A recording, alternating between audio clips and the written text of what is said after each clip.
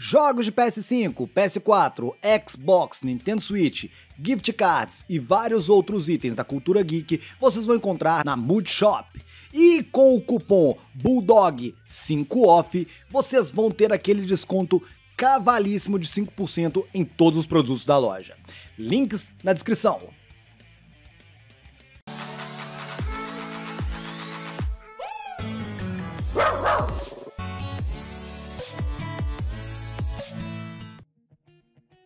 Fala galera, Budol Games na área, trazendo aqui mais um vídeo comentado para vocês. E hoje, de certa forma, um vídeo de agradecimento. Mais do que qualquer coisa, sim, agradecimento. Conseguimos, viramos o jogo. A votação na TV Senado, que estamos vencendo por uma margem ínfima de votos e com uma votação muito, mas muito pequena, se tornou realidade. Nesse atual momento, já temos mais de 65 mil votos em toda a enquete, em toda a votação e mais de 60 mil votos a favor. Mas a gente não pode relaxar, a gente tem que continuar nessa briga, sim, senhor.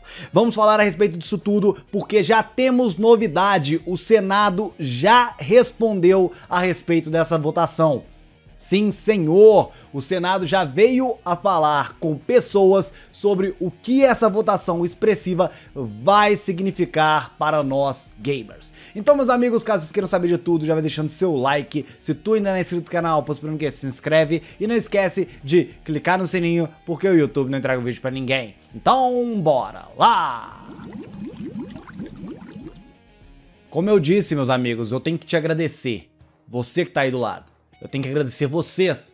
Quando eu falei disso em vídeo ontem, era exatamente 66% a favor e mais de 33%, não é? Quase 34% contra. A gente tinha pouquíssimos votos, pouquíssimos votos. Era uma votação ínfima, não havia nem 200 votos. E aí a gente trouxe vídeo, a gente veio aqui, falou a respeito e vocês que são como eu já disse milhares de vezes, os mais importantes em toda essa luta, os que devem ser mais exaltados em toda essa luta, foram lá e votaram, foram lá e comentaram, foram à guerra. Vou agradecer alguns canais aqui que falaram a respeito do tema também, o que é muito importante. Agradecer ao Combo, ao Combo Infinito, agradecer ao meu canal de games, obrigado. Agradecer ao Zevite, obrigado. São todos canais que falaram, que foram lá como eu, que pegou esse assunto de última hora, de surpresa. Eu cancelei vídeo que ia sair em tal horário para colocar aquele assunto ontem. E aí conseguimos essa virada, porque foi tão de surpresa essa votação que a gente teve que fazer essa força imensa. Só que eu digo, eu acho que precisamos de mais. Precisamos de mais pessoas votando. Precisamos de mais pessoas a favor. Precisamos de mais criadores de conteúdo levantando essa tag. Para vocês verem, nenhum canal de um milhão até agora falou. Nenhum canal de um milhão até agora falou. Nenhum canal de um milhão até agora se manifestou. Nenhum canal de um milhão fez uma, fez uma enquete, fez um vídeo, fez um tweet a respeito dessa votação de ontem e que é muito importante, porque a TV Senado ela só está fazendo isso por três razões. Eu vou contar aqui para vocês agora. Primeiro, a pressão e a cobrança que ela sofre diariamente em suas redes sociais pedindo para que a PEC seja pautada. Segundo, Davi Alcolumbre prometeu que até o final do ano a PEC seria pautada no Senado. Exatamente. Terceira, terceira e mais importante de todas, a visibilidade que a PEC traz não só para a TV Senado, mas também para os políticos. É claro que sim, a TV Senado ela deve ter uma agência que a controla, uma agência controlada, é, quer dizer, uma agência contratada pelo governo, contratada pelo Senado, mas eles só vão colocar aquilo que eles primeiro veem que é relevante e segundo que os outros senadores, pelo menos a mesa diretória, pelo menos o presidente do, do Senado aprova. Então, se está ali, é positivo. É positivo porque a gente tem a promessa do presidente do Senado há menos de duas semanas de que ele iria pautar a PEC. A promessa do presidente do Senado há menos de duas semanas que ela seria votada ainda em 2020. Então isso é sim importante. Vamos falar sobre a virada. Caras, foi realmente lindo de ver. A gente atingiu 98% dos votos dos votos dessa votação. Foi maravilhoso ver. E isso daí já trouxe resultados que eu vou mostrar aqui para vocês agora, nesse atual momento. A TV Senado já respondeu, meus amigos. Eles falaram: boa, boa madrugada, pessoas do Senado. Venho pedir que a PEC 51 seja aprovada. Vai gerar empregos e também redução de impostos nos produtos gamers. Então ele foi respondido. Boa tarde, Michael. Estamos com uma enquete aberta em nosso canal do YouTube. Que tal você dar sua opinião e divulgar para seus amigos? E ainda respondeu: E nessa sexta-feira, às nove da manhã, teremos um programa ao vivo sobre a questão dos impostos sobre os gamers. Dos games, perdão. Caras, conseguimos.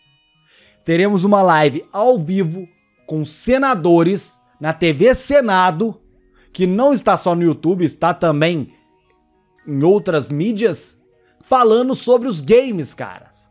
Vocês fazem ideia de quão importante é isso? De quão benéfico é isso?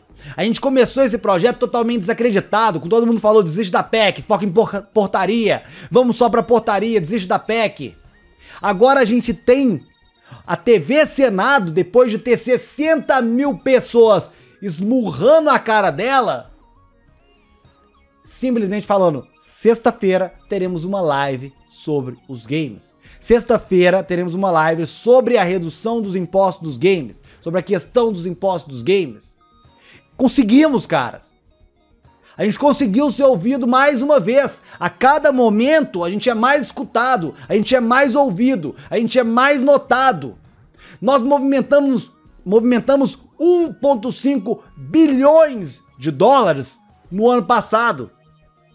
Esse ano, apesar da nossa moeda ter perdido valor, movimentamos ainda um bilhão de dólares. É uma das únicas, únicas partes da economia que não foi afetada em nada, em nada pelo Covid-19. Então é realmente muito importante. Teremos uma live, teremos um momento 100% focado em nós gamers na TV Senado. E vocês percebem o quão grande é isso? Sem televisão, sem mídia, sem apoio de grandes artistas, sem apoio de muitos grandes youtubers, muitos se calaram, outros falaram, o Edu veio aqui falar a respeito, agradeço demais, deu visibilidade pro tema também. Então isso aí foi espetacular. Outros canais estão falando também a respeito, que é muito bom. Que é muito bom. David Jones fez vídeo falando que toda a redução de imposto é benéfica e ele é a favor. Ótimo também. Mas a gente precisa de mais criadores e também talvez mais vídeos para que sejamos escutados. Sejamos escutados. A gente precisa de, de gente escutando o que a gente tem para falar. Sabe o que a gente precisa? Porque olha aí, ó, na tela. Em determinado momento, meus amigos, atingimos o pico de 98% das pessoas votando a favor da PEC. Vocês fazem ideia disso? 98% votando a favor da PEC. Atualmente, isso caiu.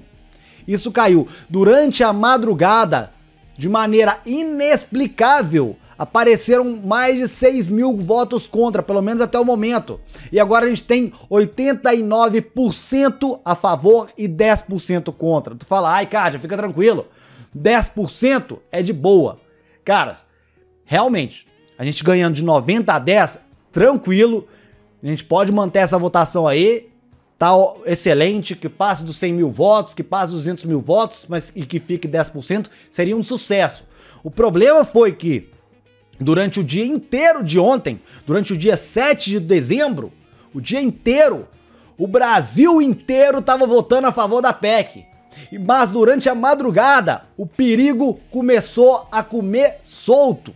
Porque durante a madrugada tivemos mais de 6 mil votos contra. Exatamente, mais de 6 mil votos contra, o que é bizarro. Bizarro. Começamos a noite com 98% a favor e terminamos a 90%, 89%. O que é muito assustador. Porque a gente precisa sim de, de expressão. Se ficar ali a 50-50, se ficar 60-40, é mais uma desculpinha. É mais uma desculpinha para eles retardarem e jogarem para frente. É mais uma desculpinha para eles deixarem de lado. E eu gostaria de saber se tem alguém organizando, se tem alguém organizando votação contra, porque tá muito estranho, caras. Então, ó, vocês aí que estão na internet o dia inteiro, vocês aí que estão descendo o rei o dia inteiro, eu acho que a gente pode começar a pesquisar se não tem algum criador de conteúdo, algum influencer, algum político, alguém na face da Terra que não está falando para votar em contra. Porque, realmente, 6 mil votos do nada. Caras, a PEC ontem, na hora que eu fiz o vídeo, ela não tinha 124 votos. 124 votos. Aí eu fiz vídeo, Algumas horas depois o combo, depois o canal de games, depois o, o Zevich acho que fez antes também. Aí todo mundo foi fazendo vídeo e aí a votação foi crescendo. Vocês entendem como é estranho? Do nada, do nada, 6 mil votos, quando as votações da TV Senado nunca passam de 3, 4, 2 mil votos. Nunca passam. Elas sempre giram aí nesse valor, 2, 3, 4 mil votos. Agora não. Agora a gente tem 6 mil votos contra a PEC 51-2017 tem algo estranho nessa brincadeira aí. Tem algo muito estranho. Mas isso aí vai fazer a gente desistir? Não. Isso aí só vai fazer a gente votar mais, a gente ir mais atrás. Porque, caras, essa briga, eles não vão ganhar. Somos 67 milhões de gamers no Brasil. Somos 67 milhões. Não somos 1, 2, 3, 4 milhões. Não. Nós somos a população de um país. Nós somos a população de um país. Tem muito país rico aí no mundo que não tem 67 milhões de pessoas. Então, vamos acordar e vamos fazer barulho da maneira que tem, tem que ser feita. E claro, comemorar porque graças ao empenho de vocês, graças à fidelidade de vocês, graças aos que, ao que vocês fizeram ontem de compartilhando meu vídeo, que eu vi que muita gente compartilhou o vídeo e eu agradeço, compartilhando a votação, o link da votação, compartilhando o tema, fazendo com que o tema volte a ficar em alta, graças a vocês, graças a vocês, nós tivemos uma resposta. E essa resposta foi significativa. A votação deu frutos. 9 horas da manhã de sexta-feira teremos teremos uma live tratando somente a respeito dos games na TV Senado em todas as suas mídias. E isso, meus amigos, eu nunca, nunca vou poder agradecer vocês. Nunca. Só deixando aqui mais um tema. Eu estou planejando fazer uma live com diversos criadores de conteúdo que queiram falar sobre esse tema. Já entrei em contato com a galera do Combo. A galera do Combo, ela tá a mil por causa justamente do Cyberpunk, mas eles já se ofereceram. Quem também tiver interesse de participar, fale comigo, vou falar com outros canais que já se manifestaram até o momento e vamos fazer uma live de cobertura sobre tudo isso, uma live grande com diversos criadores de conteúdo e falando a respeito do quão importante é e o quão e o quão esperançosa é essa PEC. Porque ela é sim esperançosa. Ela não visa somente pegar e tirar esse rombo que é comprar um videogame no bolso do consumidor final. Não. Os benefícios econômicos da PEC que tem um 2017 são enormes. Incentiva a volta de produção local de consoles, manufaturamento de consoles, manufaturação de consoles aqui no Brasil, investimento das grandes empresas de games em infraestrutura no país, porque essas empresas vão ter que construir fábricas novamente. A Sony acabou de vender mais uma fábrica dela, então a gente vai precisar sim de investimento em criação, em infraestrutura geração de milhares de empregos de 2014 até 2017 e pela Sony e de 2014 até 2019 pela Microsoft foram 10 mil empregos gerados na Zona Franca de Manaus só relacionado à montagem de consoles. Viabilidade da exportação dos consoles produzidos nacionalmente para países vizinhos. Exato. Se você vai na Argentina e tenta comprar Mega Drive, Super Nintendo, vai no Uruguai, vai na Colômbia e outros aí, 64 você encontra vários e vários produtos produzidos no Brasil, tanto consoles quanto cartuchos, jogos, controles, entre outras coisas. Eu comprei console lá na Argentina que era produzido pela Gradiente do Brasil. Eu comprei jogo que era produzido pela Gradiente do Brasil. Então, exportação de console, olha que lindo seria isso. Menor arrecadação por unidade vendida, porém maior arrecadação pela venda em grande quantidade. Combate eficiente ao mercado cinza e à pirataria, pois com valores justos, o público-alvo optaria por comprar de forma oficial com garantia fornecida pelo fabricante. E uma maior quantidade de consoles vendidos resulta em um aumento significativo na venda de jogos e periféricos, consequentemente maior arrecadação. Agradecer ao Felipe Frequência que fez esse texto resumindo tudo aquilo que eu falo para vocês em todo santo vídeo. Então salve Filipão! E é isso, meus amigos. Vamos correr atrás, vamos deixar de ser trouxas. 9 horas da manhã temos live na TV Senado falando sobre o fim dos impostos nos games e vamos fazer barulho. Que mais youtubers falem a respeito do tema, que mais youtubers respondam essa chamada da nação gamer e que mais pessoas vejam o quão importante é sim é sim baixar esses impostos, porque isso torna inviável você comprar um PS5 por R$ 4.700 e pagar 2.800 e cacetada de imposto é inviável. O brasileiro tem que parar de ser conformista. Não iremos nos conformar com preços abusivos. Não iremos aceitar preços abusivos, tá ok? Bom, comentem aí a respeito de tudo isso que eu trouxe para vocês. Comentem aí a respeito dessa votação. Façam força para que essa porcentagem suba novamente, que toquemos novamente talvez os 100% e claro, fiquem de olho que 9 horas da manhã de sexta-feira temos novidades sobre a Apex 51/2017 com certeza. Espero que tenham curtido esse vídeo. Caso tenha curtido, não esquece de deixar o seu like. Se tu ainda não é inscrito no canal, esperando que se inscreve. Não esquece de clicar no sininho, porque o YouTube não entrega o vídeo pra ninguém. Não falou do alguém, aquele abraço e fui!